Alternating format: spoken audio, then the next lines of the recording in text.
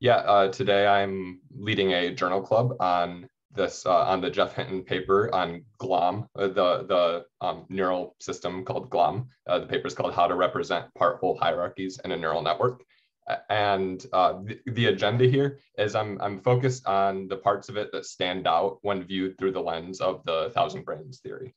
And so so the this presentation has basically these you know these five bullet points that I'm organizing it into.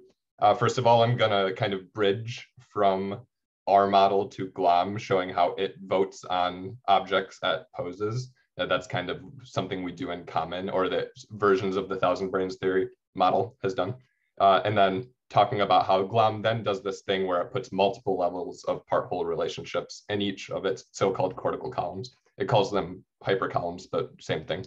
Uh, then I talk about how the voting is slightly different. I don't know if it contradicts exactly, but GLOM really emphasizes more voting doesn't all agree on one thing. It, it votes on, uh, you know, multiple islands of agreement. I'll show you visualizations of what I mean by that. Uh, the fourth point is going to be uh, like some low level details where actually the neural representations that it uses are a lot more similar to ours. Uh, in our language, it would be it enables unions. Uh, the motivation is uh, representing uncertainty. So that's an interesting uh, transition, a different a difference from capsules. Uh, and finally, I'll talk about uh, GLOM and movement. Movement is not talked about in the paper, but I'm just saying like what the low hanging fruit is here.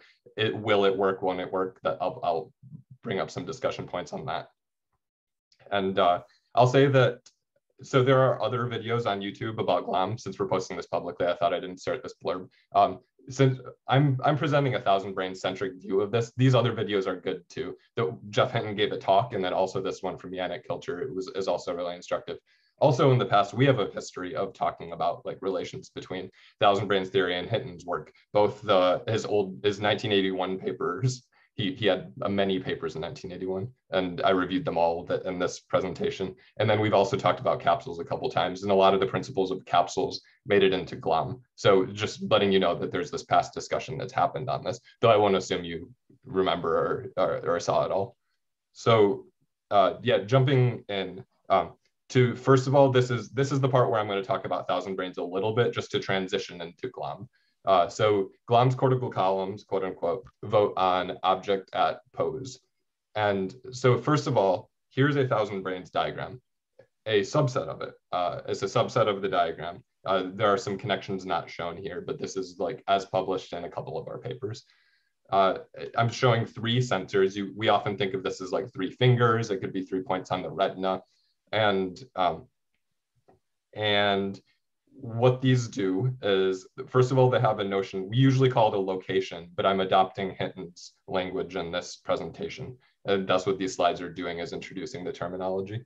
Uh, we, you have some notion of location. I didn't bother labeling this layer, but it predicts your sensory input, uh, which feeds into a representation of what object you're sensing, which then can be voted on by multiple columns. So multiple sensors work together to vote on an object ID something we brought up a bunch of times over the years is that it's desirable if this vote can actually be on an object at a pose rather than just the ID. That just makes the system much more powerful. It enables flash inference. You can have an image flashed on your retina and recognize it immediately without having to move around, or you can grasp an object and similarly recognize it immediately if you can vote on object at pose. And the way we've modeled this in the past was, uh, was using a slightly altered model of this uh, where what you have to have is you have to have some shared reference frame. Um, uh, the, so for example, you know, you have your sensors relative to your body, like your like your hand, you're re reaching your hands around, you touch something. If you can move what you sense into a common reference frame and your body's reference frame, your arm's reference frame, some common frame, similar on retina if it's relative to the full camera, um, then you can vote on an object that a pose and the one way we implemented this in the past, I'm not going to go into this visualization, but if you want to dive in and see this simulated, here's where we did this back in 2017. So just I'm right now I'm getting you into this mindset of voting on an object at a pose because uh, that's what GLOM does. Uh, so transitioning into GLOM here. Uh, I, go on. Marcus, I hope yeah. you don't mind me interrupting. Yeah. So um, I just want to make sure I, uh, some things you said, it was quick and I didn't follow all of it. Um, the way I thought, you know, as you point out in our papers, we talked about voting for objects, right? And then, and then we later said, no, it really, we're not really, that's not what it should be. It really should be object that pose, which is a different thing, right? That, that's saying what the object is and what its relationship. It's interesting. I don't remember, I, maybe it was in your simulations you did, but I don't remember that you had to have a common reference frame to to vote on object that posed. Um, I, and you said that. Um, but uh, that might have been the, was that the quote unquote claustrum thing? Yeah, Marcus? it was. Oh, oh, oh, oh, oh, that part. Yes. Okay. That makes sense to me. Yeah, um, that's that's that, what, that was the quote unquote claustrum thing. In this okay, picture, okay, I said I put this in the claustrum because I didn't want to. Got it. Yeah. Anyway, right. that's where I put it. yeah, yeah, yeah, yeah. So, um, yes, okay, but that wasn't in a that we didn't see that that was proposed to be in a separate place as opposed to in each column. Correct. Yeah. In this visualization, I could have like moved this down and had been like some other layer. I could have called yeah. it a different population, but here I decided to make it a little bit more like GLOM. Yeah. yeah. We did talk about doing it possibly like this. Um, yeah. as, as Hinton discusses in his GLOM paper, like one of the things he's, he described as why he didn't only do one population, why he replicated this multiple times. I, I don't know, I'm not presenting very well because I never introduced this visualization, but the point is, yes, you're right. I did do a little hand waving here. That's why you're confused. Oh, yeah, okay, yeah. I mean, I think we haven't really worked through, I mean, you've done more of it than anyone else, but I don't think we've ever really worked through, um, at least I haven't worked through uh, the whole, the implications for voting on pose. Um, you know, it's, it's, I, I agree that it, it's happening, but it's, it's always been a bit confusing to me. So, but you you've simulated it in some extent. Okay. I have a question from this. Uh, oh, sorry. Go ahead, Kevin. Uh, so the question I have is uh, on that top level where you show intercommunication on that uh, level. Is there any sense of what the level of connectivity is? I mean, you're, you you schematic, you know, you know, just you know, single connection across the columns, but I'm assuming that it's a it's a 2D set of connections. Is there any constraints he uh, provides on that degree of interconnectivity? Okay, uh, in in his, the, they're vectors that are quote unquote identical. They're the same population vectors. Um, the, so it's it's big populations of cells that have the same activation. Then he goes into a later biologically plausible section where he talks about how you could get something that's a little more realistic. So he does. So he the way they do it in GLOM is literally have it be the same vector, the same you know 1024 bits, let's say, uh, and the same one is going to vote for the same one. So we, I we see. So that, that double-sided arrow is just a uh, uh, uh, is, is actually not what's occurring. They're all feeding into the same block. No, no, I think what Marcus no, is no. he's showing the thousand brains version of this, where we do have separate uh, populations of vectors, and the lateral back and forth communication is actual connectivity. Um, so in the thousand brains, each cortical column has its own population. Okay. I, and, and, Glom, and Glom it does as well. And Glom I, each will have its own population. But but they're but they're identical in GLOM, right? Um, yes. Copies. So I, I, thought Kevin might you might have been asking a different question about the nature of those connections. Um, um, well, that, that's why I was I was yeah. I mean, if if they're actually separate but communicating with each other, to what what is the the the uh, the connectivity among the uh, columns? Is just the in, adjacent in, ones, or no, no, no. It could be it, it could be these are uh, medium and long range connections in the cortex. So, um, you know, if you look at connections between the, the, the, left side of the brain and the right side of the brain, well, you see a lot of connections between the, the parts of the somatosensory cortex represent the left hand and the parts that represent the right hand. So in theory, I mean, that would we would say that's because often the left and the right hand are touching the same thing, and they have it's fruitful for them to vote. Um, and so any any part of the cortex that could fruitfully vote, you might have connections the, the other interesting thing about these connections, and I've mentioned this a few times, but I don't think we've ever really tested this. Maybe we have, I don't remember. But you don't need as many as you think you need. that is, um, if I was a single column and I need to, I need to be able to, we're voting on something, I maybe need to get 100 connections to vote, you know, from someplace else. those 100 connections could be, could be randomly distributed among 100 different columns. Uh, that is, uh, every column doesn't have to be very much connected to every other column. It, it's as long as I just have a sufficient number of, um, I, I can't prove this right now, but I'm, I'm sure it's true. I'm pretty sure it's true. Um, that that the, the, the density of these connections can be much sparser than you might imagine initially. As long as each column has enough bits coming into from someplace else, uh, the whole system will settle. Um, so, uh, but so you, you would see these going in locally, you'd see them within a, within a region, you'd see them between regions that are adjacent to each other. You might see them across the cortex, you know, different sides, the corpus callosum. So, um, but do we have a characterization of that? Is like a is like is like a small world network or something, or do we just don't uh, know? Uh, I don't know enough about. I know that these these maps, these connections have been shown to exist, but I don't know if numerically they're well understood. Okay. Is this notion um, of so, sorry, go ahead. That's okay. Uh, just to make make sure I understand here, kind of one big difference when we have in the thousand brains theory, the the top population was stable for an object regardless of the pose, right? So it was kind of an invariant representation right. of an object. Here, when we have an object that pose, that representation is obviously changing as the pose changes. Correct. Um, right, and so you don't necessarily have a stable representation of an object, uh, but you might have. I guess he's used the term. Well, it would, be stable if the pose. It'd be stable as the pose is stable, right? Um, yeah, but if the if the object changes its rotation or yeah. changes its pose relative to you, all of those vectors. Yeah. I'm assuming. So that's that's always that's the thing I was thinking. I haven't really kind of worked this out in my head. Maybe Marcus, you've done. I don't know where I still know the identity object, although the pose has changed. One way to, one way to think, I think the one way I think about it is that we're only perceptually aware of these voting neurons. And so what you perceive, what am I, you know, I'm looking right now, I see my computer in front of me. It's not, you know, my eyes are moving, but the computer doesn't seem to be moving. And so, but I perceive the computer as being its own pose to me. I, I don't just say computer. It's oh, it's my computer at some particular position and orientation to me. And that is the thing I'm perceiving. So that is, the, those are going to be voting neurons that represent that. Yet at the same time, I do know it's my computer. It's not just like, uh, it's not unique from my computer at other positions.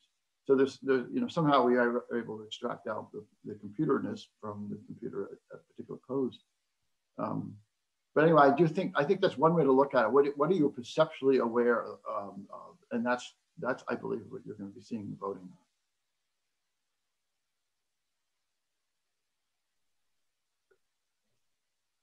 I don't know if Lucas had something.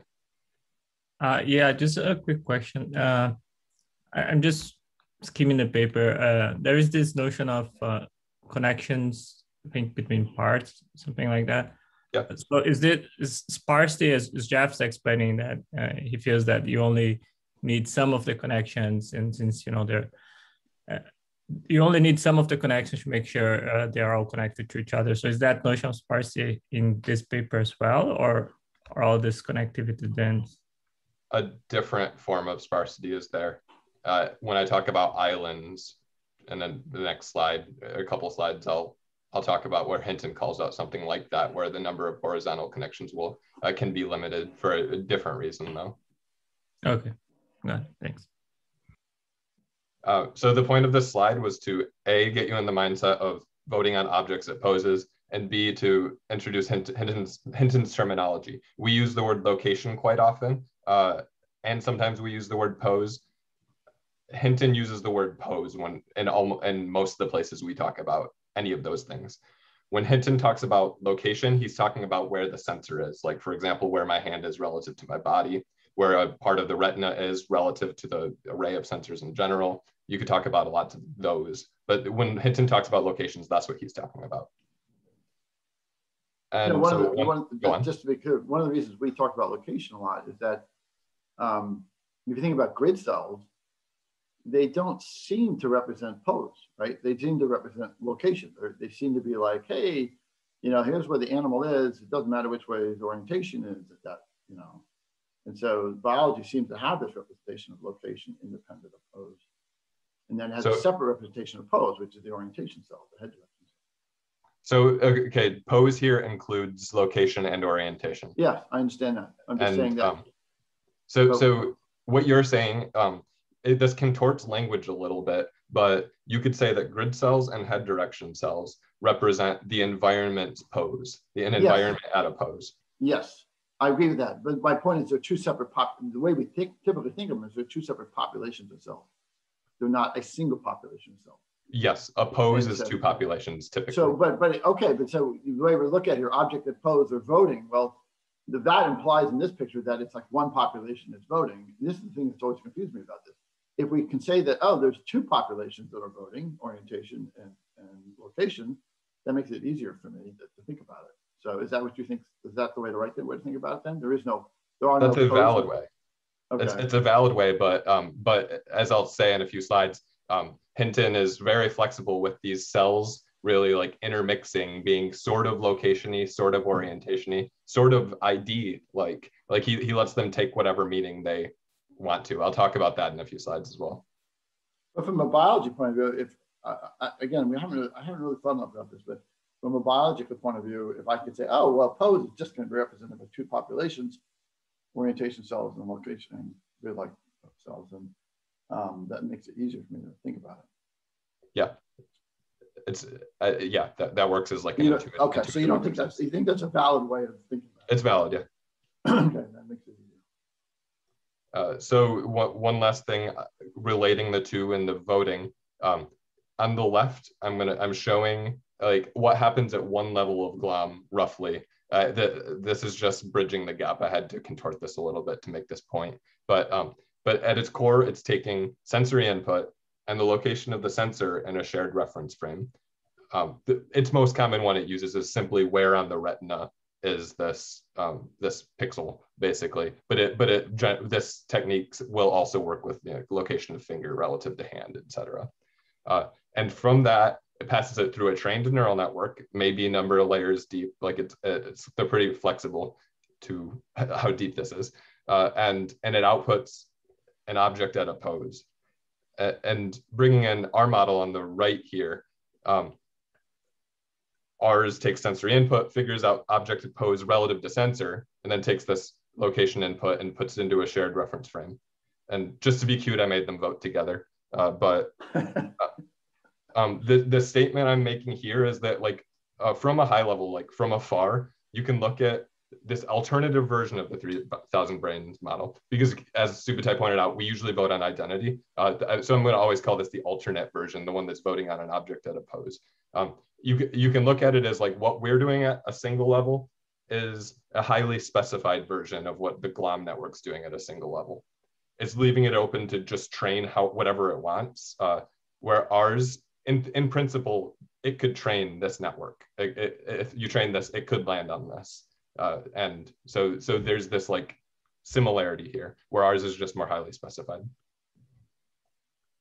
Um, this is the end of this section. The next is actually going to be, you know, more fun and talking about GLOM itself and the and the diagram of the diagram that will appear in any GLOM presentation. So I'm going to cover two points here, part, parts two and three of five. Um, so first of all, I'm going to talk about how GLOM includes multiple levels of part-whole relationships in each cortical column or hypercolumn. And, uh, and I'm going to also talk about how the voting in GLOM doesn't all try to settle on one thing, at least not on the um, not on most of the levels. It tries to uh, it, will be better with a picture, which is in the next slide. It creates these islands of agreement.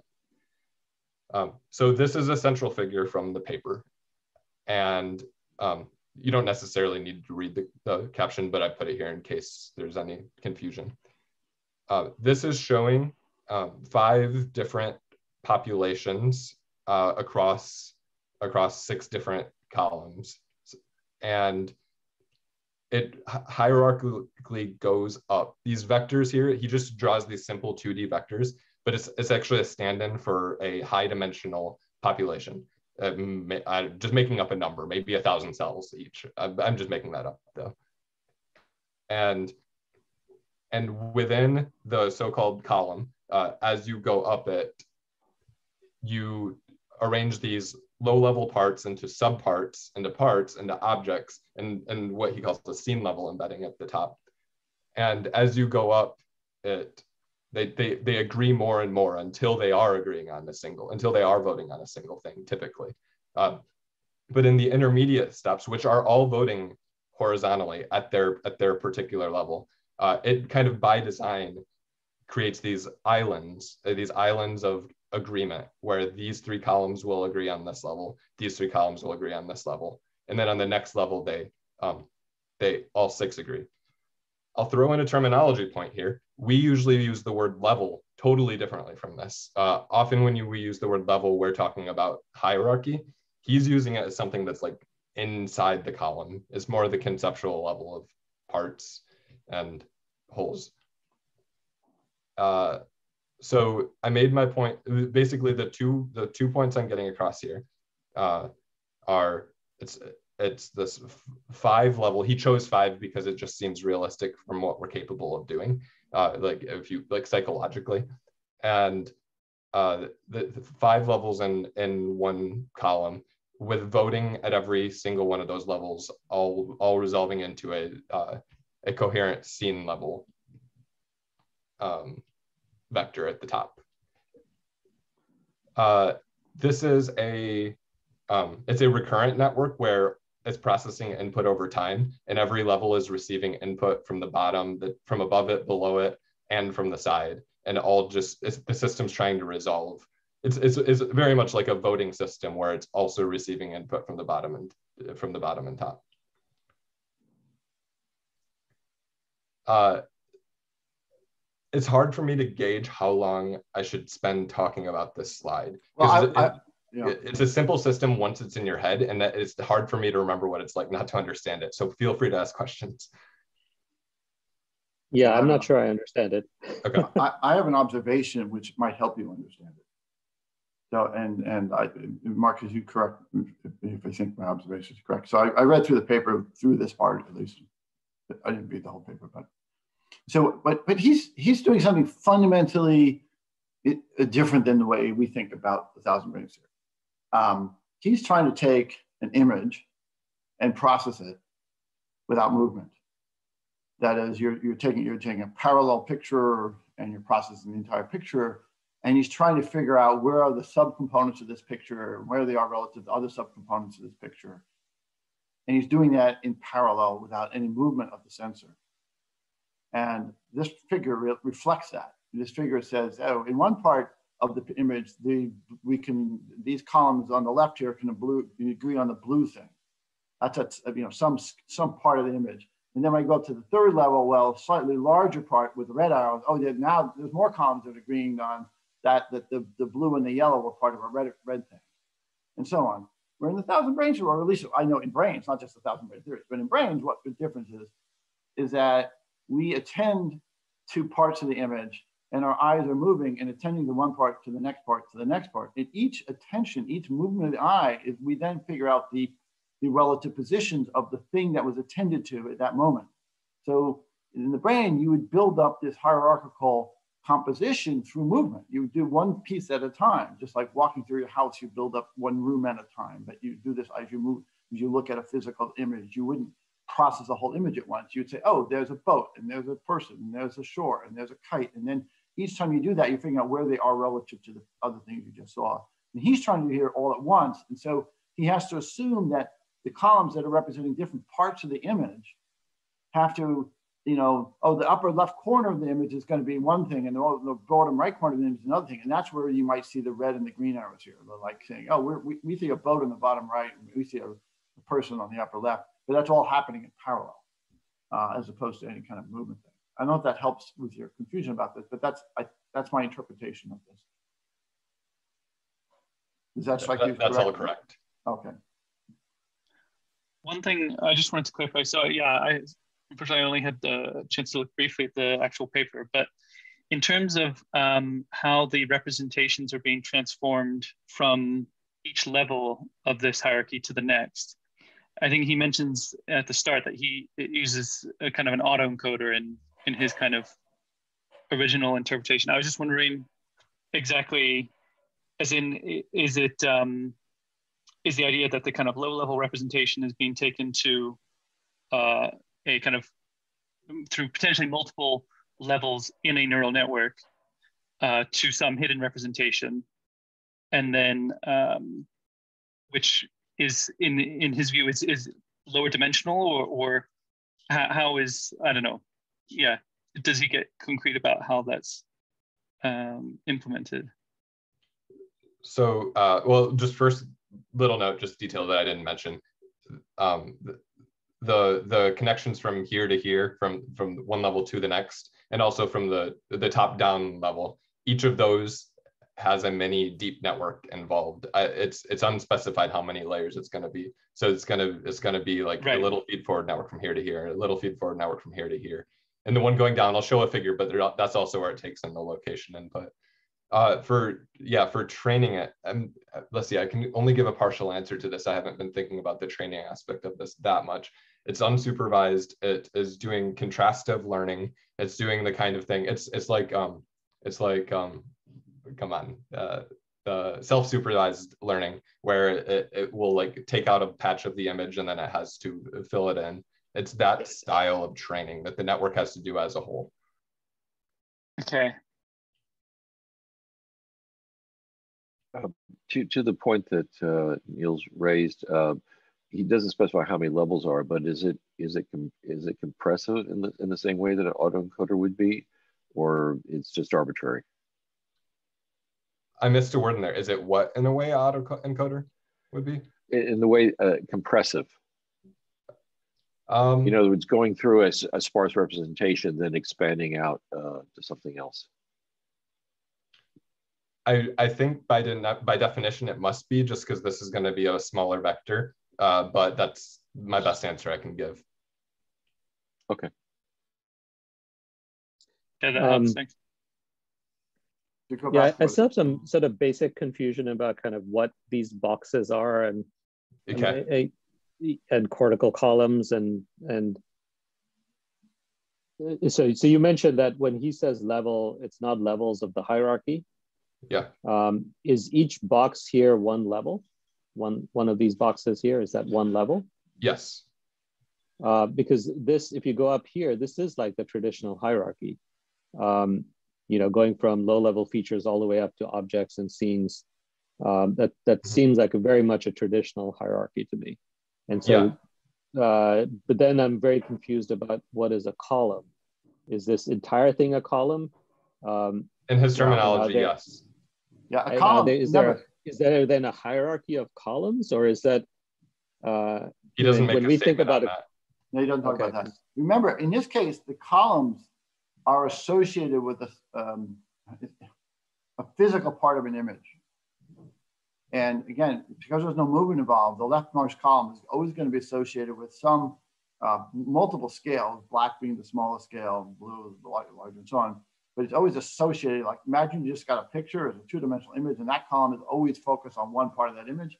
And you might think that's like the brain, but it's not because the brain's eyes are moving all the time. So um, yeah, and the brain's cortical columns are nothing like this. Um, yes, no, they're nothing like this. you know, they're, they're um, uh, here, I should I should throw on the next slide here, then we can continue this just in case. So I consider both possibilities here. One is if it is all in one column, first image that came to mind is this idea of if you look at cells and the cortex, as you go through the layer depth, you get more complexity going up or and they get larger. So it's it's evocative of that on the other hand, I give what, what Subutai just said. I am taking his use of the word hypercolumn literally. This system really could work as a model of V1, V2, V4 IT. Uh, uh, so I think this bottom point is a little bit what Subutai was saying. But yeah, but not... that's not a, a hypercolumn doesn't cross V1, V2, V4 IT. Like I know that. that that's that's why my that's why I said like that's why I disclaim this. Maybe I'm wrong to take him literally. Maybe I, well, he's using column to mean something totally different. I, I don't know. I haven't talked yeah, about this, but his his use of these terms suggests to me that he he he's just using very very um, uh, casually related to biology. There, it's it's not like there's a he's thought about it much. Of, it doesn't seem like he's thought much about the biological aspects of this at all. Um, he says, yeah, people talk about columns. I call this a column too you know, that kind of thing, as opposed to the kind of questions you're asking. I don't think it just doesn't seem like he's thinking about this stuff, or maybe he doesn't even know it. I don't know. I'm not sure. Yeah, I know I, I he, think... he, has a he has a strong uh, psychology background when it comes to vision. I don't know. I don't know if he comes in with a strong. But but even just the way he's I mean, this system that he's proposed, uh, it couldn't possibly work for touch, for example, or for hearing, um, because you don't have this sort of uh, regular mapping idea that you have like a picture, you know, that you're processing, um, where columns are always in the same location in that picture. You know, what does that mean in a touch with fingers are moving and body parts are moving? It doesn't make any sense. Um, so again, I think it's, I think it comes up from a computer vision perspective, maybe some psychology, but I, I basically have interpreted his, his use of these words, column, hypercolumn, all this stuff is very, very loose and more confusing for the people like us who know exactly what these things mean. Because um, I don't think they really have a correspondence.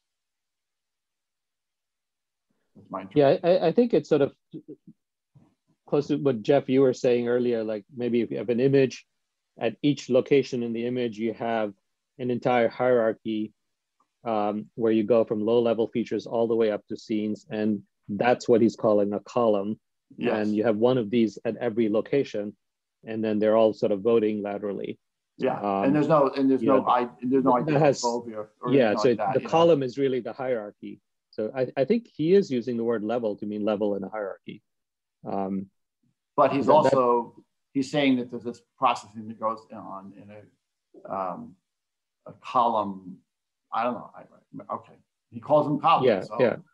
I mean, if you look at it, yeah, it's just that instead of you look at a classic convolutional neural network, if you look at a classic convolutional neural network, no one, I don't think anyone says, here's this unit that spans all the layers that's only over this side of the image. I mean, you, yeah, you could construct one by looking at the different layers, but um, but no one called that a column, right? Mm-hmm. Um, so, you know, I think he's calling it a column. it's sort of column because it's vertical. yeah, and he has a lot, and he's showing a cortical column. He's just sort of breaking it down into like these these these networks. Marcus was talking about these communications between the levels in a column, and then there's voting across column, where we would say, oh, you have a network, you have a large neural network and there's some sort of operation that goes in one layer, and then we go up to the next one. There's some sort of operation that goes on there. I mean, it's just sort of parsing it differently. Um, I don't know why he calls them columns, but that's what he does. So coming back to that interpretation of where it is a hierarchy, it is V1, V2, V4 IT, for example. Um, I just want to come well, back. Well, I, I, I, think I would hesitate to say it's V1, V2, V4 IT. I, we, I think we could say it's a hierarchy. It's sure. a slice. I think it's, it's a slice to map, map it to those, V1, to those cortical areas. It's a piece of V1 and a piece of V2 and a piece of V4 and a piece of IT yeah. that are stacked on top of one another, uh, but only sort of. yeah, but I think that's a very loose. I, I, I, think it's. I think trying to map it to the neuroscience is going to be really hard. No, I, I uh, agree. so far as I could, yeah. Yeah, I'm, it's really a concept. It's a conceptual model. It's not really designed to be a biological model. Yeah, exactly. Um, exactly. Yeah. And he he did he makes that point too. I, I think he does, but but anyway, the point he does use the word column and hypercolumn, so that's confusing. so. So. coming back, I want to just once again bring up the islands point. Uh, it, take that hierarchical view, say that maybe this one that with the blue and the pink is V1. Uh, the what this model does by it does intentionally is it has like your visual field represent different islands of so-called objects and so that's we don't explicitly not do that, but more often when we talk about it, we talk about everything voting together and agreeing on one thing. And well, I would say yeah, but, would, but, but that is but that, that's hours. typically a, that that's a traditional hierarchical view of visual processing. This is you will get these islands um, even in a traditional feed forward hierarchy without lateral connections. Um, you know, just because there's convergence, you'll you'll literally get these these types of levels and you'll get one part of it talking about the boat the other part of it kind of representing the forest or what or the you know the mountains or whatever you'll you'll get these quote unquote islands um, and i think marcus you, you're you, he has a more probably he has a much more specific definition of islands than um, than what we've uh, kind of mentioned so far and, and maybe we should go to the implementation at some point. But to me, this looks very much like a traditional hierarchy um, here. But isn't there a difference here that uh, as opposed to convolution, now you have these columns at each uh, patch of the image. So uh, yeah, you have object level embeddings for each uh, pose. Uh, it pose enough for each patch of the image. I don't know how he calls that. Yeah. Isn't this different than convolution than the traditional? I didn't say anything. I didn't say anything about convolution. Convolution is just a pure kind of speed up thing, and uh, and it's a it's a it's an optimization hack. Uh, but if you think about the conceptual view of a hierarchy, it's not that different from what we've seen so far here. Uh, but what I meant in convolution is that this traditional hierarchy, you keep uh, you keep processing like small parts until you get to this overall object level embedding for the whole image. Whereas here you mm-hmm. have that for each patch of the image. So you have multiple. No, no, no, no, no, no, no. At the at the top you get a single object level embedding. That's what all the black arrows are. It's a single. It's a single. That's what you get in a traditional hierarchy. You, you have a bunch of replications of that uh, of of that. So you have many populations of cells all agreeing, agreeing on the same one. On that, yeah. All copying it. Yeah. So it's that is yeah. a difference. I mean, that, that is that is a difference. Uh, I, I'm just saying that the, you know each each of these squares to me seems like a level of a hierarchy. And yes, they're separated. Maybe they're not converging into a single population like you just mentioned, but it's still levels of a hierarchy. Okay, I, mean, I can I, I, can see calling it that. I'm not sure what difference it makes. I mean, it's it's just confusing. Well, the difference is it's not like this is one what we think of a cortical column, and then there'll be another cortical column stacked on top of this. No, no, I we don't think this is. I mean, right. This, this is it. This this, this, is, this is the whole yeah, system. There there is no cortical. This is totally different idea of a cortical column. Right. Yeah. This yeah. Exactly. That, that's that's my point. Yeah. No, I think I think I would agree with that. This is not like a biological cortical column, and it's. Uh, I mean, Marcus, you point out there is some you know scale difference within upper and lower layers, but I, I have a totally different interpretation for that. So um, to, to I think it, what I would say, yeah, this is this is not like our cortical columns at all. This is a, a, another thing he calls an abstract concept, and he calls it a column. you know, I'm not, I'm not sure if he's trying to get some cred from the biological world by calling it a column or not, but I don't know. But but it's not like a cortical. Column. So my reason for coming back to this slide was I wanted to bring up voting horizontally and say, and I just, the discussion topic here is in Thousand Brains, do you see it as uh, having these islands or do you see it as everything uh, voting on one thing? As you look around, as you look at an object, does, does your entire sheet of uh, your entire sensory well, array? The way I've been thinking about it is that is that you, with each attention, you narrow down your attentional field until you are able to recognize it as one thing. Right. And so I could may say, oh, uh, I can recognize this bicycle as one thing. It's occupying this percent of my visual field, and I, that's good enough. If I didn't know what a bicycle was, uh, then I wouldn't be able to recognize it as one thing. And then I would narrow my attention down to, oh, there's a wheel and there's a pedal and there's a handlebar. I know those things are. And I and so it's like um, you only you vote on one. Everything is voting at one thing at a time, and you're doing it sequentially. The extent of the receptive field that's involved changes depending on what you can recognize as one thing. Um, but to me, it's not. You're not building these things up simultaneously. Nowhere do I, I do I do I, do I think the voting neurons. Um, I'll have to be careful. Don't. There's a lot we still don't know. But in general, I think um, you think it is okay we're all going to vote on this is a bicycle okay now here's a person and here's a, and, and here's a tree and we now know where they are relative to each other because i i, I attended I moved my eyes saccaded and attended to each one each time one at a time so you wouldn't be voting multiple things at once like this okay yeah i was trying to get your, your current sense on that so that that's my current sense there is some weirdness about it because like what if you know we talked about v1 what if what if the thing you're looking at is so large scale that V1 really can't contribute as much as we'd like? Uh, you know, we do know that the retina projects to V2 and to V4 as well. And so what is V1 doing if I'm looking at something very large um, that um, that is suitable for V2 or V4, but not, you know, like what is V what is V1 processing at that point? Is it is it is it on its own voting on smaller pieces? I you know I don't know. I don't know the answer to that question. I haven't, I haven't looked at it. Okay, um, I'll jump into the next section that's a little bit more low level. Okay. Can I have up? a quick, more machine learning question, switching the gears okay. a little bit? So you mentioned recurrent connections between the levels at some point. Uh, so this, I'm implying there is some notion of time step or cycles here. And that is true also for inference time. Is that correct? Correct, yes. Okay, and then do you backpropagate through time as well? Do you backpropagate through the whole uh, recurrent connections? Yes. Okay, Bye.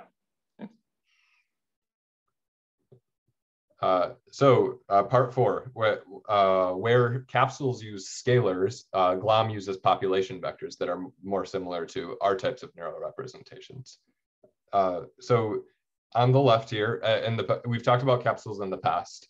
Here I've drawn these little circles to indicate how capsules use cells, use use units, um, and they they'll literally use them as um, as uh, as parts of a matrix, like filling in this matrix. If you fill in these 12 numbers, you can represent any pose. Um, and in fact, or, or you can reduce that down to six because there are really only six dimensions of pose in 3D. Uh, and so, so capsules kind of abstracted away the neural hardware and just allowed these so-called cells, these units, these numbers to be trained by backprop and to just do matrix multiplications and GLOM interestingly gets away from that. It it it, it abandons that. Uh, so in GLOM, uh, units are points in the full configuration space. Uh, the full um, the full set of axes like x, y, z, theta, psi, phi. Um, it's like it distributes the cells throughout that, and um, and it's it, so it's it's quite similar to an attractor sheet, where in where a 2D version of that, if you're representing location, there are two ways to do this. The capsule way of doing representing a 2D location would be you have an X cell and a Sorry, Y cell. Siri. Uh, um, you have an X cell and a Y cell, uh, and in the GLOM way is more of like the 2D attractor sheet way, where you have a bunch of, of sheet of cells that just represent different 2D locations uh, they they've moved in this direction. Um, to so so the general the general view of it is you take all your degrees of freedom, you know, distribute your cells throughout it conceptually, um, and and that is how you represent things rather than representing the values of the different axes. You represent a, bump of activity somewhere in this space. Yeah, it's interesting. In the original capsules talk that Hinton did, he actually talked about the right hand way of doing it um, and it's it comes from an old technique called Hough, Hough transforms, um, where which are basically exactly that. You represent points in configuration space, and then you you accumulate votes for the different areas of configuration space.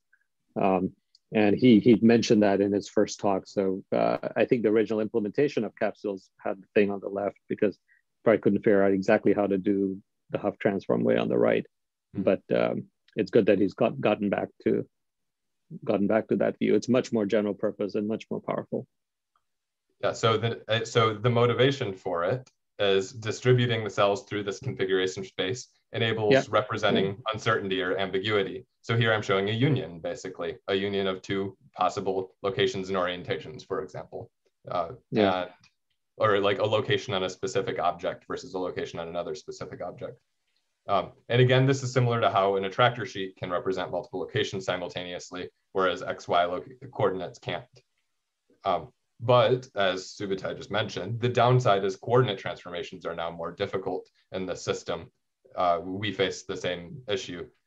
When you, when you represent these axes directly, it's just a set of scalar multiplications or dot products to perform a coordinate transformation. When you do it in more of this population distributed throughout the space of the space of all of these axes. Uh, it's now more of a like brute force. It's, it's harder. It's, it's no longer a trivial, a trivial cheap operation. And so they're gonna, he, he's gonna face the same issue. And he, disclaims that in the paper that that is a thing that's gonna be harder. I guess, yeah, this might help with one thing I was uncertain about was how, because I guess one of the original kind of really appealing things about capsules was how kind of moving them away from this sort of bag of features type processing that things like CNNs do to to actually respect the the relative uh, locations of features when when doing something like uh, recognizing an object. But um, but it wasn't clear to me how how GLOM uh, deals with this, uh, or, or like if that's specified. But but is that kind of what you're getting at here? That that essentially that's that's left as an open uh, question. Well, it's it's the thing that he that he, he explicitly wants to work. Like it, it's it's gonna be this feeding into a right. multi-layer perceptron of some kind into the next level, and that that multi-layer perceptron needs to perform a coordinate transformation on this somehow, and right. part of it's gonna happen through like here I've distributed the, this evenly through the three degrees of freedom, but the system, if it wants to, it could it could throw a few of them off to just be head direction cells uh, or, or orientation cells. Like it, it can choose to divide them up if the backprop says that's what it should do. And but in general, he's kind of trusting the black box to work and um, and find a way to perform these coordinate transformations that will then work across objects that will, that will work not just I for one object. But if I'm understanding all this, I think, if you know, I'm proposing this idea that coordinate transforms are happening in the thalamus and the, uh, in the cells. And what they're doing there is you're doing the coordinate transforms on a, on Jeff, your audio is uh, uh, difficult. I don't know if it's coming from your microphone or from some other. Is it better now? Yeah, much better, much better. Okay, my, my, my microphone got unplugged a little bit. Sorry about that. Um, what I was going to say is, you know, I proposed this method for doing uh, coordinate transforms using the thalamus. And that, what you're doing there is you're, you're, you're, sort of going back to the old way. It's not X, Y, and Z, but it's a, a, a set of, you know, over complete set of, of dimensions. And you can transfer, you can do a transformation on each single one dimensional vector independently of the others. And so you have the benefit of doing this coordinate transform um, it's sort of in the old way, like X, Y, Z way. But then you still, but then you trans, then it gets, it, so if, as long as you, as long as you're doing the transformations via movement or a movement vector is involved, it, I think you can have the best of both worlds. I think you can have like the easy transformation, going to transformation, and you still get the, the, the internal representation that is not like that. You can get unions and things like that. I, am sorry, the other way, I'm not saying it very well. But I think you can have the best of both worlds. And I think the, the method that uh, I've been proposing to the thalamus would let you do that. Um, it's just more, I'm, I'm, thinking out loud as much as anything. I didn't understand this part of this paper. I didn't get this, it's good. I mean, one possible thing here, what I don't know if he mentioned in his paper, is you could take the point of configuration space that has the most votes attend to that. And at that point, you can do all your transformations with respect to that point. Um, you know, like if you want to move to a particular point, you can just pick the point here, which has the most votes, and then now you can do whatever you need to. Now you can do the previous method. But, but isn't right? the point of the can, isn't the point of the transformations are like you have these black circles here, um, and what you want to do is you want to just like say, you know, just transform all, imagine if the reference frame rotated or, or, or something like that. And you now you want to know where they are in the new reference frame. Is that right? Um, that's what we're talking about here, right? Coordinate transformations. I, I, um, yes, yes. Okay. So I don't think you need to do the attentional thing. I think you can update them all at once. I think as, as long as you, that the, the transformations, it, if you think about if the transformations are going through the thalamus, you basically do the transformations in the 1D um, vectors of space, um, and, and then the blobs would follow. uh, I'll just have to leave it at that. I think you can make this all work even without attention. I think I think it, I'd have to think about it more, but it strikes me that you could have both best of both worlds. You know, you never get back to this origin point or having need, needing to know a particular reference uh, point. Um, mean, do you think could you handle unions that way? I, I don't see why at the moment, and I haven't thought, I haven't worked too carefully today. I don't see why you couldn't update all the unions, the union simultaneously. It's not, it's not clear to me right now why you couldn't do that. Yeah, it might be if it's in 1D, it becomes much more tractable. Yeah, again, you're, you're doing the transformations in these 1D things. It's just like, you know, the, think about the, the voltage controlled oscillators and the grid cells, right? They represent, you know, movement in one direction. So then we had, but then you translate it into um, you later you end up with, you know, with grid cells and place cells. I mean, I, I, I want to shut up because I, I haven't thought through this enough. Uh, I think you can, it's, it, I'll just say it again. At the moment, I don't see why I couldn't get the best of both worlds. As long as you, as long as you do your transformations in the way I talked about, um, the coordinate transformations. All right, that this needs to be thought more. I'm gonna shut my mouth yeah. There's a chance if if Hinton's right that a feed forward network can take this and and perform a coordinate transformation on it. If it works on one, it might work on a union just as is through magic. But that's hand wave. Uh, I thought that's possible. That's gonna. I thought that was one of the weaker aspects of the paper, where he just kind of relied on, you know, classic neural networks to solve all these different problems yeah, we'll stick another one here, we'll stick another one here. You haven't showed the diagram yet with his, you know, his time diagram with the three right. levels. Um, you know, every one of them, he, he throws in like every every time anything has to happen, there's a, you know, oh, sticking a multi-layer neural network here.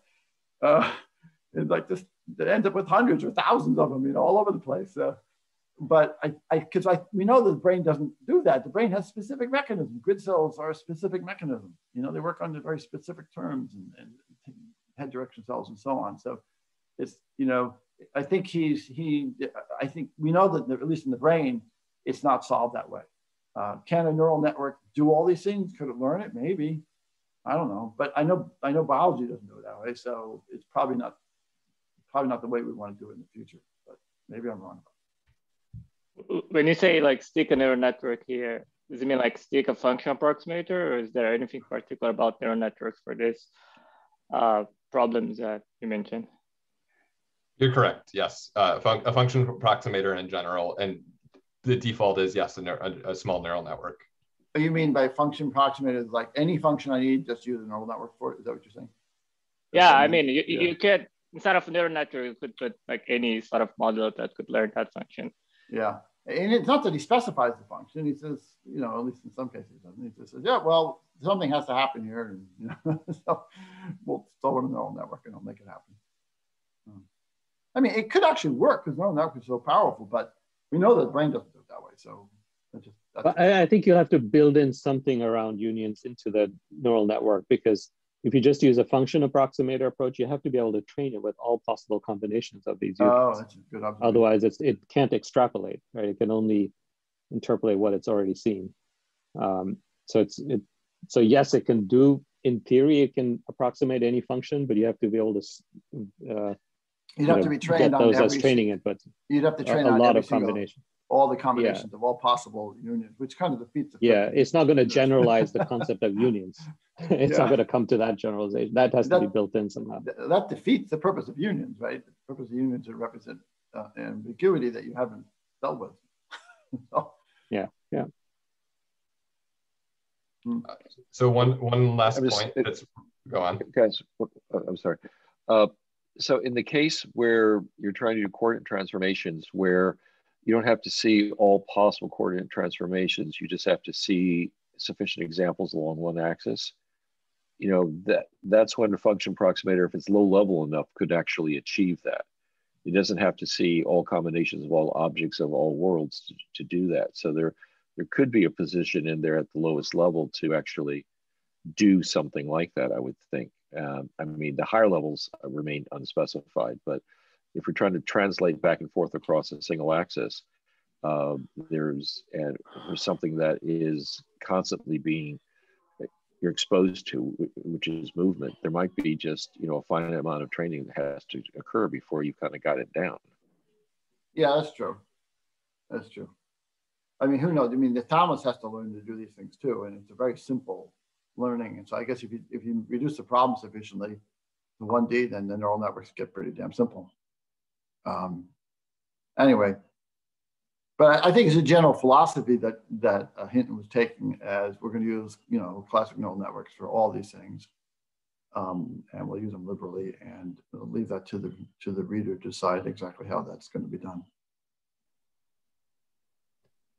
So, uh, Marcus, you, you mentioned it will a few times.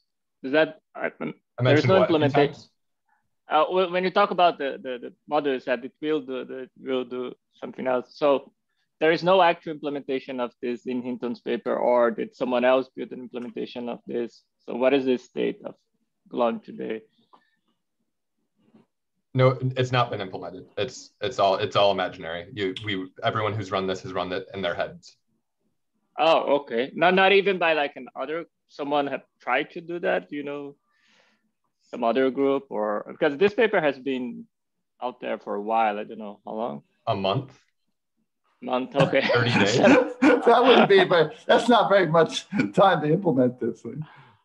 Oh, well, I, I mean, of course, I wouldn't be. I wouldn't be surprised if people within his group have been implementing it or trying to implement it. You could just uh, assume that's going on right now.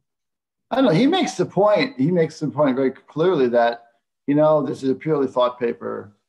Um, you know, there's no attempt at all to make make this uh, uh, reality. You know, so I don't. I mean, he, he, didn't say these things are underway. At least I didn't see it. Maybe it's in there. I don't know. Yeah, it's. I mean, it's the uh, it's the first sentence in the abstract. He he readily admits that this is not a working system. So, I think yeah, he just wants to get it out there to start a discussion. I mean, in some sense, we do that too, right? We've published papers where we haven't. Uh, some of them we have implemented, some of them we haven't. Um, or if we ha- generally we have, but they're usually toy versions, if at least. Yeah, so. yeah, at least yeah, even toy versions. But but you know, as you all know, I mean, we like to think about these things purely abstract things. We could we kind of know they're going to work before we implement them. so you know, so it's like it's not like, well, this is an idea. Well, if we can do it, it's like, yeah, we kind of think it through before, you know, at least a certain amount, make sure it, it will work. So I, I don't, I don't, I don't hold that against him, although it, it, it did seem, again, he didn't work through all the details. Yeah, me neither. I'm not like holding against anyone. I'm just curious if like those who try to implement what sort of challenge they face. So if I don't know, if someone knows any project in the web that tried to implement mm-hmm. that, that was more of my question. Yeah, I, I just did a quick.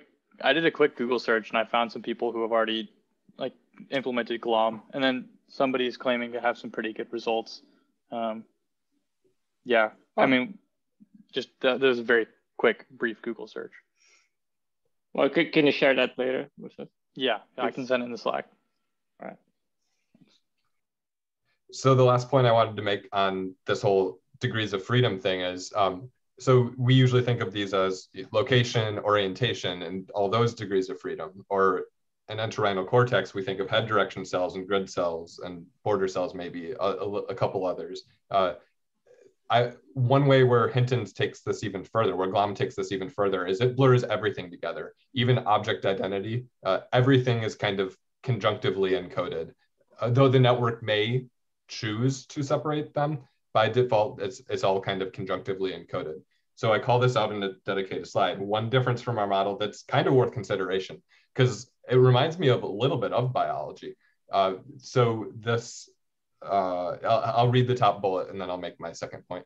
Each unit in the GLOM population vector is free to conjunctively encode any mix of the degrees of freedom. So the location, the orientation, the identity, how the stapler, stapler openness, how open the stapler is. Uh, if GLOM were to encode this, like cells might, si might simultaneously code for all of these to some extent. And just the point I want to make is that um, the the literature on grid cells, head direction cells, all of that often kind of paints this cartoon world where everything is these separate populations.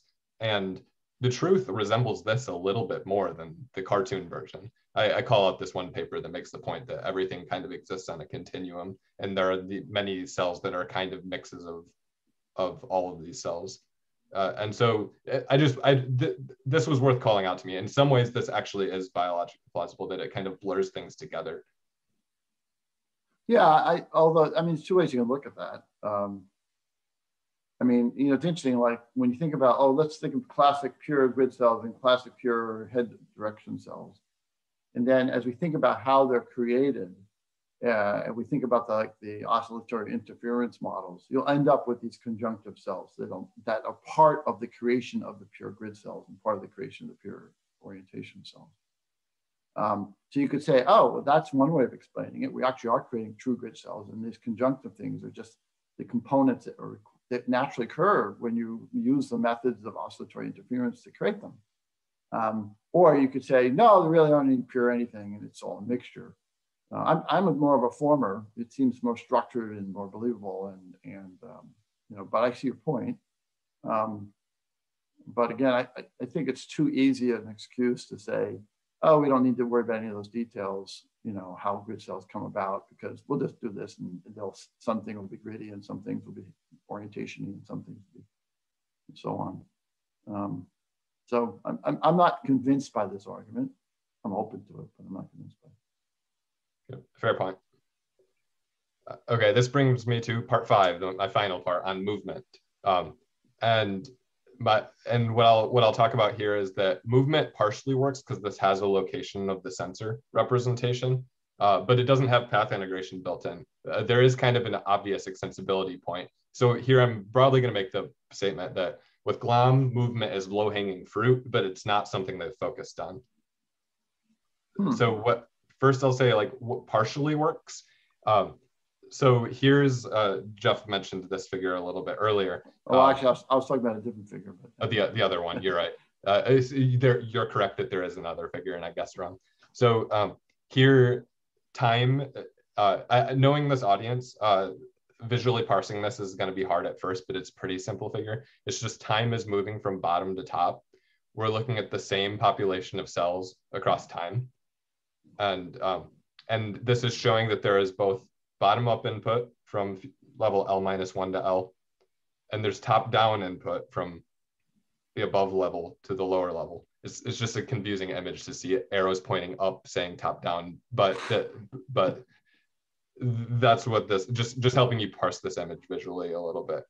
Uh, so it has this location of the sensor relative to a shared reference frame. Typically in the text here, that's just simply where on the on the retina the pixel is. Uh, but but it really can generalize to anything. It could be it could be finger location relative to hand, example for um, etc. And um, and I, even sneak this in like it could even be a different reference frame, and I'll bring that up in a future slide. Uh, but the point I want to make here is if you update this location, as the as like a finger moves around, predictions are going to change.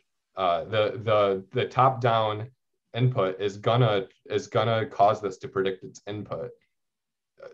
You have to operate under one constraint. Uh, prediction with movement will work as is if um, the top level, the highest of these levels, the scene one, is unchanged by the movement. Uh, if if your scene level, so so for example, if if um, if your if this is a multi-sensor array with vision and touch and you move your hands around, I would say this kind of does support path. It does support movement in that sense. If, if it's all, if you're, if, if it's like vision and touch and grabbing things. But is, is movement helping in any sense? Or are you just saying, hey, if I move, I'll still be able to, you know, I'll be able to, the, the network will result, you know, end up with the same representation? I mean, is it is movement part? Is it assisting in the, the inference and learning, or is it? Just... I would say yeah. It's gonna infer across time. It's it's gonna it's gonna be able to more quickly recognize the th- things represent the things that are grasped. You're asking a valid question now. Uh, yeah. uh, I am. I let's see. I am putting. I'm showing that this almost works as okay, is, but it's not a focus of the paper. I, I would say it partially works. I mean, in some sense. It, if your if your sensor moves, the system doesn't like go berserk. You know, it kind of like, oh yeah, okay, I got it. But as you point out, there's no path integration, so there's no there's no knowledge at all about where your sensor is going to be after you move. It's more like it's like your eyes are doing random saccades, and uh, and nobody knew about it. No part of the brain knew which way your eyes are moving. Um, it, it would yeah, still, I guess it, the, the simple statement I'm making is if you just had an arrow pointed to this that says proprioception, it's yeah. going to kind of work. It's going to do some things useful. Yeah, I still, but I think it's missing the core crux of movement as a.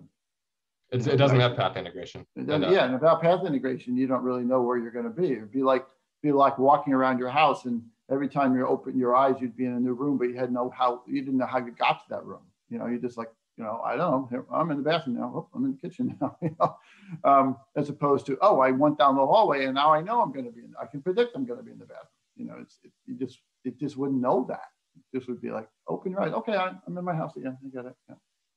Um, so I don't know. To me, that's without the path integration, as you point out, it seems to be very, very impoverished in terms of a um, sensory motor system. Um, so maybe, maybe, there's a way of doing it. I don't know, but. So is that uh, because they're only working with static commutes? Uh, I'm guessing they're not working with environment involves actions and all in that paper. Right. They, they didn't focus on this. He, he, he focused explicitly on taking static images and, and finding the whole part hierarchy of components in that image, but always with static images. but There's no, no mention at all of, you know, like some problem that involves actions? Not even like a future work kind of preference? I don't know. I don't know if he mentioned it.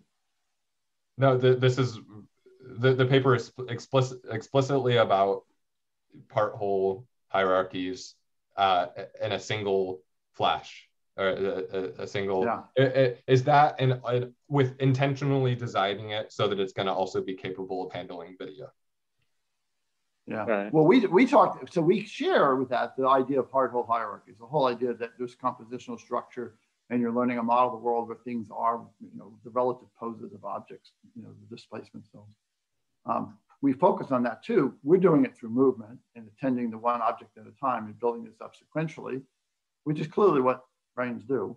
Um, but he's trying to solve it in a flash, as, as Marcus said. I think part of this is the, the paper is 45 pages long and he decided not to include all of his thoughts. Uh, but maybe, yeah, I don't know. But you know, it's interesting. It's a different approach. I mean, personally, I would never have written that paper. I would never said, I always felt that the flash inference problem is such a red herring it's going to lead you down the wrong paths of thought. And so I've always personally rejected that. Um, but but that, that doesn't mean that's right. I mean, it's alternate to try it the other way. So, you know, we've struggled around, we've struggled not understanding how this stuff works. And we started off with simple things like sequence memory, which is a long way from understanding, you know, visual scenes. But at least it had the temporal component to it. And we relied on that.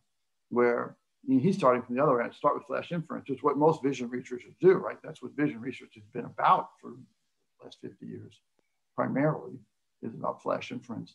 And, um, and he's saying, how can I get this part whole hierarchy, thinking about it that way. In fact he ends up voting is interesting, but you know, Subutai points out maybe maybe all he Subutai arguing don't all classic neural networks have regions of islands of voting. I don't know. Maybe they. Uh, so on the, the, go on. Uh, yeah, sorry. I was just going to say on the islands of voting thing. I I just thought it would be interesting to um, make sure I understood that a bit better in terms of Jeff. You mentioned kind of uh, at least with um, kind of thousand brains that uh, generally everything's kind of voting on one thing at a time. Um, if, if I understood that correctly, but then well, I was just wondering how how how kind of uh, one could perceive multiple objects uh, in parallel, which I guess I, I, if I, yeah, is what you were maybe getting at, um, Marcus, well, in terms you, of kind of the advantage of. Do you actually perceive multiple objects in parallel? It, it's an interesting, it's it's an ongoing debate in the psychology literature. A lot of, yeah, research. Um, I think in the kind of 80s onwards suggested that uh, a lot of things we we only process in like a, a serial manner and then uh, very simple features we can process in a parallel manner. But I think if you look at the actual uh, plots for things like search times, it's more of a kind of a gray answer that obviously we process things better when we direct our attention to them. But it's also not as if there's no processing going on yeah. outside of attention. Yeah, no, that's, that's true. Uh, but again, those things, if you think about like um, search time, you know, you have to look very carefully at the experiments because some of these things are popping out, these pop out experiences, you know, well, it's a different color. That doesn't mean you're processing multiple things at time or, or a different shape or, um, you know, the, the real question is if I show you, you know, five objects on the screen and I flash it in front of you and those objects have no relationship to each other, do you process them simultaneously or do you, it, can you even recall all of them? You know, if I if I if I if you don't have time to attend to them individually, can you actually recall all five? Um, I don't know. I would probably suspect not. but, yeah, but I mean, generally it seems that people people can do that to a degree. They definitely don't do it perfectly, but it's they definitely do better than chance. But even then, um, it would be even then it would be the question is is that somehow the brain buffering this up and, and serially processing one after another. I mean, clearly, right. when I say the words, I, I can't say them all at once. I have to say them. But it almost right, right, like conceptually, when you're thinking about it, you'd say, okay, what was there? Okay, that was that one. What was over there? That was that one. What was over there? That was that one. It's not like you have like this Apple bike, car, you know, dog representation, and they're all coming out at once. anyway, I think it's it's an open question, and as, and I was hesitant a little bit when I said through the attentional mechanism, it's only one thing at a time, um, because I think at different levels of the cortical hierarchy, it, it, gets more complicated, and we don't understand it well. So I don't think we know the final yeah. answer to that question. No, You're right. You. It's, it's, probably a grayscale, the gray area. So the, I'm nearing the end of this, uh, but on the topic of path integration, one thing I do point out is the pose is already represented in here. It just needs to be updated. And so using movement update, move, using movement info to update a pose is a doable thing. I think that, that like although movement is not built into this, I think it's probably intentionally kept, you know, close at hand. It's it's it at the moment it's easy to add movement to this, uh, and so it's it's not but like gone that, down a bad that, road. But that wouldn't be true as we, we were talking about the issue of unions. It's not going to work very well for that, right? So, um, I don't think there's any issue there.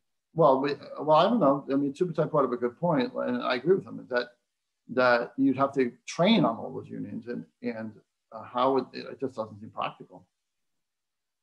Well, I um, think at the top level, you won't, you wouldn't have any union there. Is that right? Mm. You would just have a you, single you interpretation. A, early on, you could have uncertainty, but like while you're still doing inference, being able to path integrate those unions, yeah, yeah that is a thing. But I don't. But th- this is a different conversation because we already know how to do that with uh, mm. hand coded networks. The coordinate transformations is the thing we can't do with hand coded networks very well. Uh, but path integrating unions is a doable thing. Mm. So uh, one one thing I point out here is strictly you you wouldn't necessarily need all of these levels to path integrate. You could just have one of them do it, probably the top one, and the others could inherit it using what is here's another thing that comes, you know, one of the things you get from having um, sort of reference frames for storing your knowledge in grid cells and so on, is you get the ability to manipulate objects. So I could, you know, I could, I can see an object from one orientation, uh, attend to its different components, and I can now visualize it from a different orientation, no problem.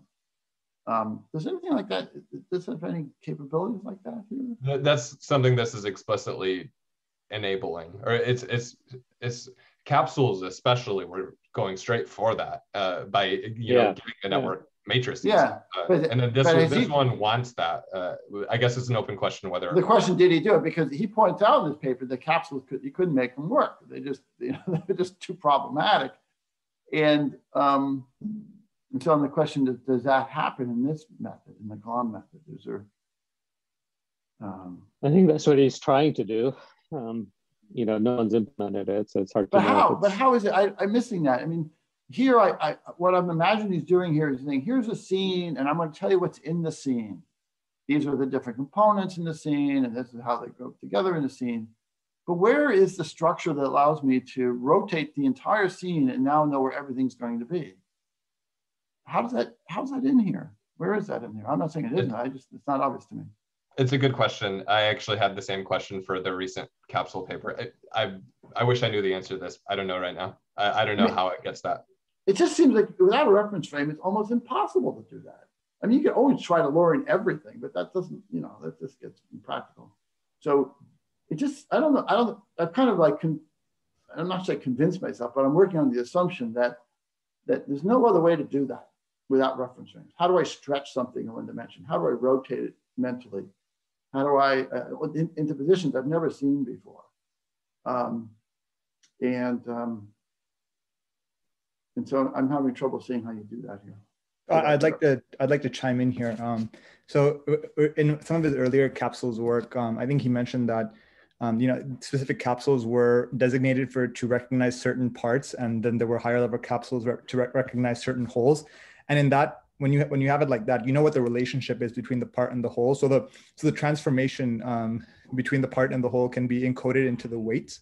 But in this case, when he has universal capsules, I think there was a section um, in the paper, Marcus, where he talked about how um, this time, you know, you can't encode uh, the transformation between lower level capsules and higher level, higher level ones because um, you're always going to have different parts that are being recognized. So instead, there has to be in, in that in that distributed represent that embedding vector, it has to have some uh, bits that are also allocated to um, the the transformation to get from the lower level capital to the higher level one. That has to be in there along with the representation of the identity of the part. So I think that's that's where he, that's how he claims to encode that information. Yeah, I guess the one question there following on from that is sort of mechanistically, how does that happen if you if you rec- if you're trained to recognize a particular object at a certain pose and now you see a completely novel view of that at a different pose, will you automatically be able to recognize that object and recover the pose? Right? It, that's that's you know, capsules really... tried to do that explicitly, and it's I guess the question is, how does that happen here, right? Yeah, I mean, in some sense, how does that to, level of generalization happen? To, to do that, you have to represent the three-dimensional pose of objects relative to each other. And, and when I read this paper, all I kept thinking this is an image, and he's trying to get the two-dimensional uh, position of objects relative to one another. Um, but that's that's not what you need to rotate something, you know um, because their, their two-dimensional relationships will change completely as you rotate in 3D. And so the, the, the object composition has to be a three-dimensional structure. Um, and, and I didn't see that here. We didn't talk about training, and I know that a big part of how capsules work is you know, the, how they augment the image and they train it to predict uh, its rotations, etc. So how, how does it work and can you learn that with training? So the training didn't mention, I don't think the, the paper mentioned anything about training on different viewpoints on the object. So I'm at a loss for how that gets, how that part is going to get into this. I just haven't looked into that. Well, and I had the same question well, for the stacked capsule autoencoders paper. Uh, sorry if you hear noise. What are you going to say? Yeah. So, so yeah, I was going to say, I mean, the, the hope would be that you would not need to train on different poses, right? You would only treat, if it's a particular, if it's, let's say, assume it's a rigid object, you train on one pose and now, or small number of poses, and now you can recognize it in, in very different poses. And the thing that Karan was mentioning, at least in the original capsules, I think the idea was that the re relative locations of everything is encoded in the weights. And so you, you don't, you, all you need to do is recover their relative location. You don't, you know, at a different orientation or a different scale, you would automatically be able to recognize that same same object, but it's not clear how that happens here. But to I here in the, I think the, the argument is here that information that's encoded in the weights in the in the in the in the previous capsules work is now encoded uh, as part of the embeddings. So that's used to go from like the capsule at level L, the part at level L mm -hmm. to mm-hmm. the whole at level L plus one. I think that that's the argument. What, what do you mean when you say it's represented in embeddings? I mean it has to be learned, right? Yeah, that's true. Yeah, because that's I, the question. yeah, and again, if you if you see an object at a specific pose at some point, yes, it's maybe the pose is in the embeddings now, but now you see that same object in a completely novel pose. Um, that's you know how does it recognize that it's the same object at a different pose? this is a gap in my knowledge. I don't have an answer to this. And I yeah. would say that the capsules went through this transition where the first paper did all this explicitly. It was trained yes. to do this. And then the later one that apparent, I think the, the one that performed the best, the stacked capsules auto autoencoders paper, got away from this. And I, I never really wrapped my head around how that satisfied the original goals of capsules. Uh, but maybe it did. I didn't do my homework on this. So, so I'm, I'm also lost. You've raised a good question here. And I think the reason this is coming up now is because when the system's processing movement, it has to solve the same problem uh, as to solve yeah. this. And that, that's why we're talking about this right now. And that's where movement comes into this. Um, and so I don't know, in some ways, maybe our a contribution or a point we could make here is that like that problem gets solved once you bring movement into it. So punting on movement might not actually benefit you right now. It actually might solve this training problem. Uh, okay, I'll come to an end pretty quickly here. Um, I mentioned I mentioned here like strictly you would only need to path integrate one level and you could inherit it from the rest. Or if you have path integration at, at, on every level, it will improve sensory motor inference. Uh, final slide here, I'll just go by quickly and say you could also rearrange these and put the arrow elsewhere. It's not worth me going deep into this, but if anyone wants to look at the YouTube video and make see my point here, if you if you had a reference frame transformation where the scene is now in like its external reference frame, where if, as you as you move through the scene, the scene level vector doesn't change. If it's actually like allocentric, um, then path integration would happen in this box, and and th this would be like a nice unifying theory where moving moving always updates this box. I, I don't expect all of you to follow that right now. We're we're going along, so I'll just go to my summary slide unless someone else wants to interrupt me here. Uh, so summary, uh, I would say that the current Thousand Brains theory models and GLOM use uh, essentially the same building blocks, or at least a lot of the same building blocks. The voting, part to whole reference frame transformations, and newly like neural representations that can handle uncertainty or amb ambiguity. Uh, I'd say we prescribe a lot more of the intermediate populations. Like we say that we're, there's going to be this location for each sensor. There's going to be displacement cells.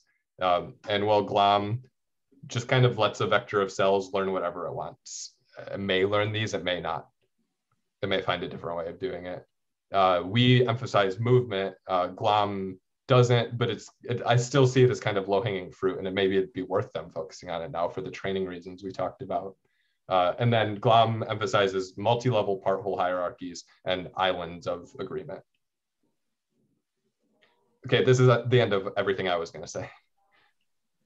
Well, I would say, I mean, we also emphasize the tie to neuroscience and explaining for sure, yeah, how the brain works. Yeah, and that's not covered at all in GLOM. Yeah, yeah, and I'm I'm hoping you're right, but I, I am not convinced about movements of low hanging fruit. I think sort of an impoverished version of the movement might be, but going back to that, you know, the rotating of an object in 3D is part of movement in my mind. It's not clear how you do that at all here, but but I think it's interesting, uh, you know, I think it is interesting. Here's an AI researcher basically trying to solve the same problems that we're trying to solve, which I think is great. Because um, so many people in the in machine learning world don't concern themselves with some of these issues. So I think it's encouraging. Uh, Marcus, I have more of a high level question. So from your uh, reading and studying this paper, is there any particular insight that change your mind about you know the way you think about machine learning about the brain. Is there any particular insight that was really uh, helpful for you? Hmm. i'm almost too tired to give a good answer to this question. Uh, that's, a good, that's a good question. The funny uh, answer so, um, uh, really what what just happened is i i worked I worked to prepare this presentation and I'm going to sit with it for a little while after this. And that's my that is my real answer is I haven't sat with it for for some time. Um, yeah, I, I guess just one. I, I, do think that Hinton is definitely coming in with a um, with a strong psychology background and has done many experiments just trying to uh, interrogate what the visual system's doing from like an experimental outsider standpoint. But yeah that, so i do think that he's absolutely trying to solve that problem. But how he how he lands it on cortical columns and such is less less um less guaranteed to be right. Yeah thanks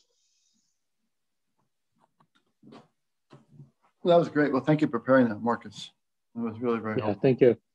I'm surprised you didn't show that other diagram. I thought that was one of the, the, the one that goes time goes from left to right with the three levels. So, I mean, okay, people, yeah. you could, people can look it up themselves if they want.